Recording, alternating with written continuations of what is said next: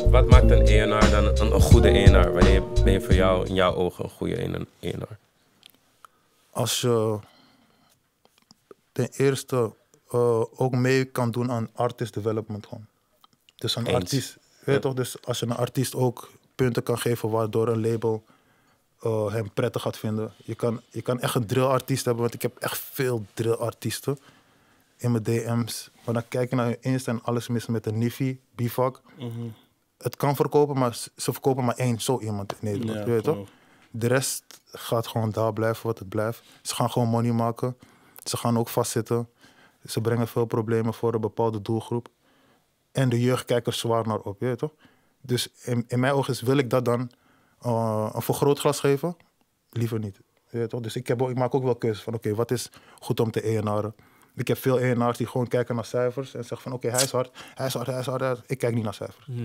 Ik kijk liever naar iemand met eh, nul views dan iemand met eh 100.000 views. Want die 100.000 views zijn gewoon Ja. Maar dan, nu hebben we het toevallig dan over de drillrappers. En er zijn heel veel opkomend en er is ook heel veel gedoe over. Dan, wat voor advies zou je dan drillrappers geven? Willen ze groter worden? Willen ze meer geaccepteerd worden, et cetera? Mijn grootste advies is: ga naar KVK. Als je geen 18 bent, want de meeste zijn jong. Ja. Kom naar mij, toch? En laat me bivak misjes voor jullie maken. Toch? Dan maak je money op bivak misjes. Mhm.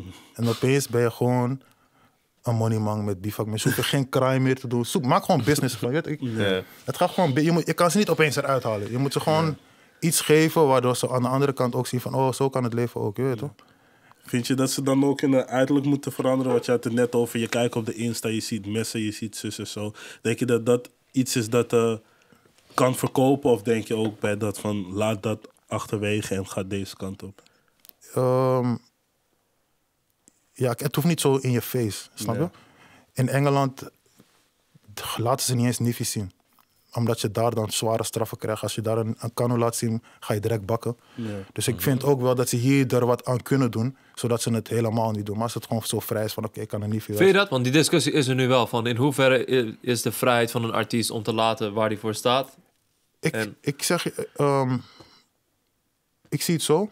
Ehm, als jij met zulke wapens in de video zit, moet je er niet gaan huilen als je wordt opgepakt. Is zo simpel als dat. Eigen Eh, risico. Het is gewoon eigen risico. Ik kan niet iemand verbieden om dat niet te doen of zo. Mhm. Maar wil je money maken, wil je kapitaliseren, maak gewoon eigen bivaklijn, verkoop bivakmutsen. En trek jezelf daarvan weg, zodat je op een gegeven moment wel zakenman bent en dingen eruit kan halen. En niet alleen maar mensen hoeft te joeken.